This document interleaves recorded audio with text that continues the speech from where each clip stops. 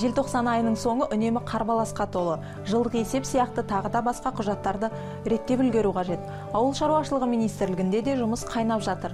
2016 жылғы өсімдік шаруашылығындағы қорытынды көрсеткіштер жайлы бүгінгі бағдарламада толығырақ тарқататын боламыз. Өсімдік шаруашылығы қазақстанның аграрлық секторының ірі салаларының бірі. Бүгінгі күні бидай басты дақыл болып қалып отыр. Елімізде ауыл шаруашылығы дақылдары 35 миллион гектарға оның ішінде дәнді дақылдар 23 миллион. Ал 14 миллион гектарға бидай егіледі. Қазіргі уақытта қазақстанда қоңыржай климатқа бейімделген барлық дәнді дақылдар өсіріледі. Биылғы жылы мына егін жинау жұмыстары оңтайлы мерзімде жүзеге асырылды.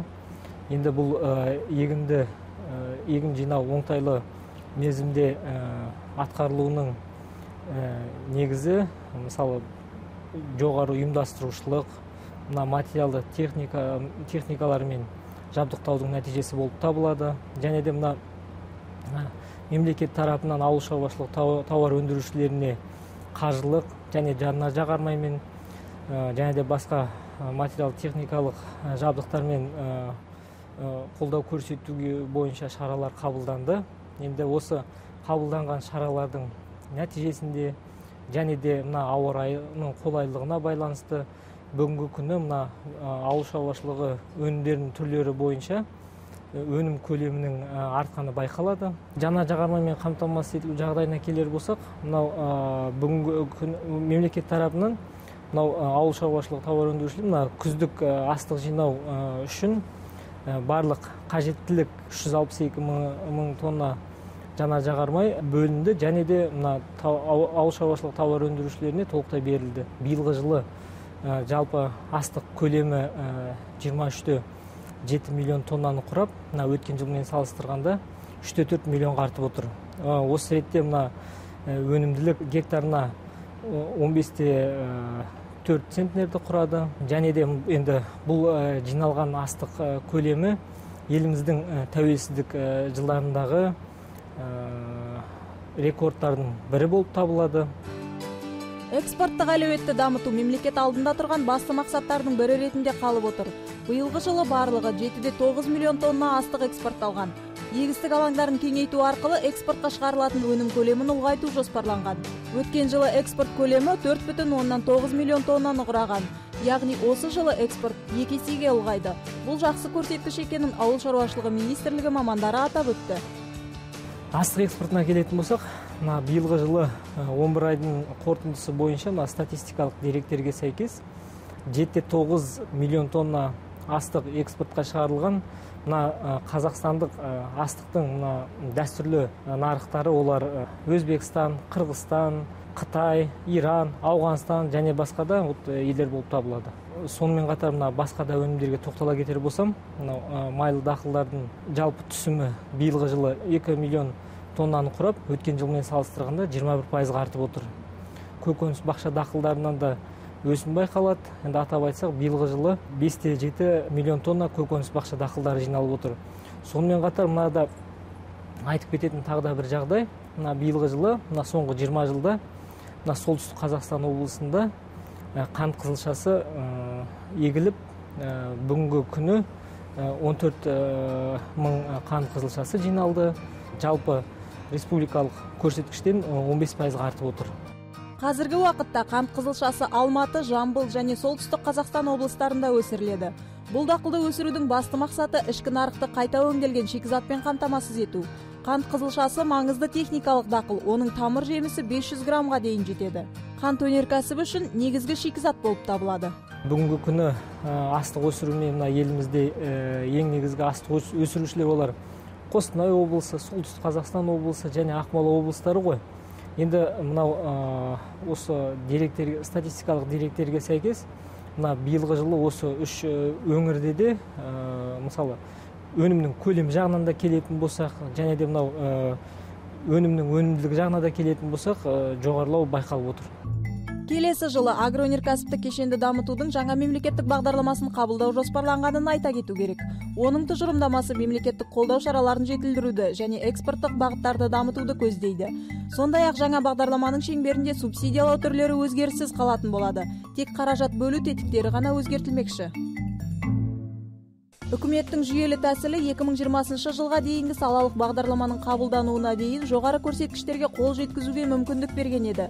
Қазақстан 2050 стратегиясында отандық шаруалардың жетістіктері аталып бұл бағытты одан әрі дамыту белгіленген.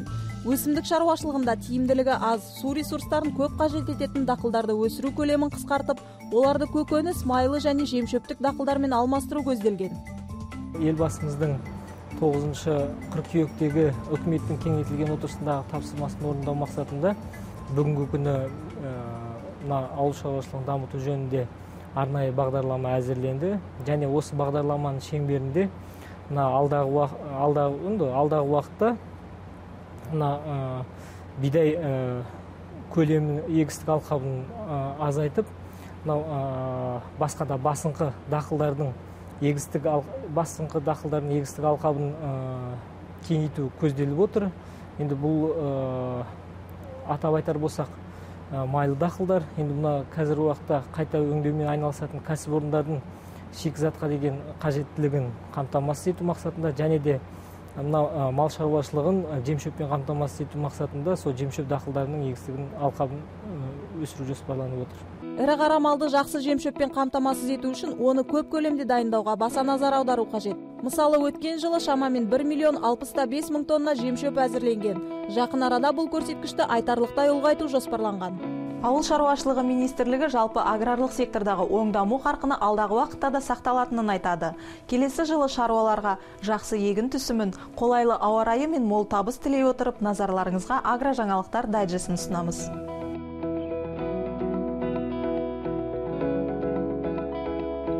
Қазақстандағы 33 әлеуметтік маңызы бар азық түлік тауарларының ішінде жарма жұмыртқа нан құс еті мен қанттың бағалары жоғарылаған.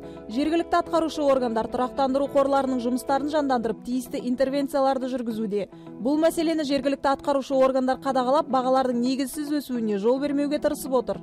Мемлекет басшысының тапсырмасына сәйкес ұлттық экономика министрлігі ағымдағы жылдың қыркүйегінен бастап 2017 жылғы бірінші қаңтарға дейін табиғи монополиялардың көрсетілетін қызметтеріне тарифтерді жоғарылатуға ешқандай өтінімдерді қарастырмайды. Бразилияда соя бұршақтарын жинау басталды. Өткен аптада осы елдегі мату гроссу штатының фермерлері аталған дақылды жинауға кірісті. Қазіргі уақытта 15 қыркүйектен бастап егілген ерте пісетін майлы дақылдар жиналуда. Жаппай бұршақ жинау келесі аптада басталатындықтан соя бұршағын бастыру көлемі қазір шағын.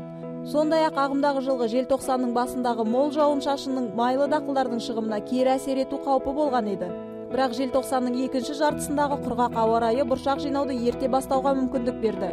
Мату гроссу экономика және ауыл шаруашылығы институтының болжамына сәйкес ағымдағы кезеңде штаттағы соя өндірісі 30 миллион тоннадан асуы мүмкін. Ал шығымы бір акрдан 47 бушель деңгейінде күтілуде. Ресейдегі ветеринариялық және фитосанитариялық қадағалау жөніндегі федералдық қызмет египеттегі дамиетта порты зертханасының жұмысын тексермек. Федералдық қызмет мамандары 2017 жылғы қаңтарда египетке дамиетта порты зертханасы жұмысының әдістемесімен танысу және комиссиялық сынамаларды алуды жүргізу мақсатымен барады. Бұл тексеріске аталған портта ішек таяқшасына жататын бактерия мөлшерінің жоғары болуы анықталғанына байланысты ресейлік өнімді өткізуді тоқтату себеп болған. Бұл ретте федералдық қызметтің баспасөз қызметі египет тарапы қандай өнімді тоқтатқанын нақтылаған жоқ. 2020 жылға қарай қытай этанол өндірісінің көлемін екі есе ұлғайтуды жоспарлап отыр. Қытай халық республикасы мемлекеттік энергетикалық басқармасы 5 жылдық жоспарға сәйкес 2020 жылға қарай қытайдағы этанол өндірісінің жылдық көлемін 4 миллион тоннаға дейін ұлғайтуды жоспарлаған. Бұл ағымдағы деңгейден екі есе артық. Сондай ақ қытайдағы өндірістік мақсатта азық түлік дақылдарын пайдалануға қатысты қатаң бақылауға қарамастан аталған көрсеткішке қол жеткізу көзделген. Осыған байланысты этанол өндірісі барысында маниоки сияқты басқа да дақылдарға басымдық берілетін болады. Сонымен қатар 2020 жылға қарай қытайдағы биоотынды тұтыну үлесін ағымдағы 12 пайыздан 15 пайызға дейін ұлғайту жоспарланып отыр.